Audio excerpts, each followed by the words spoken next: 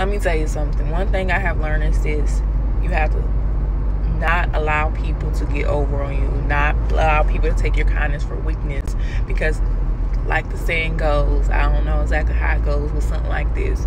You let a person slide once, I promise you, them motherfuckers are gonna be out here just skating out here in these streets, okay? They're gonna think they can always get over on you. They're gonna always try you. No, you, you nah. Do it once, cut, stop, don't allow it. No.